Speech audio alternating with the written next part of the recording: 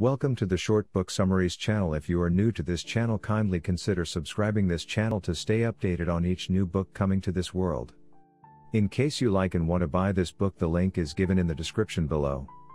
Now enjoy the summary. From the number one New York Times best-selling author and lifestyle slash cleaning guru Marie Kondo, this graphic novelization brings Kondo's life-changing tidying method to life with the fun, quirky story of a woman who transforms her home, work, and love life using Kondo's advice and inspiration. Marie Kondo presents the fictional story of Chiaki, a young woman in Tokyo who struggles with a cluttered apartment, messy love life, and lack of direction. After receiving a complaint from her attractive next door neighbor about the sad state of her balcony, Chiaki gets Kondo to take her on as a client. Through a series of entertaining and insightful lessons, Kondo helps Chiaki get her home and life in order. This insightful, illustrated case study is perfect for people looking for a fun introduction to the KonMari method of tidying up, as well as tried and true fans of Marie Kondo eager for a new way to think about what sparks joy.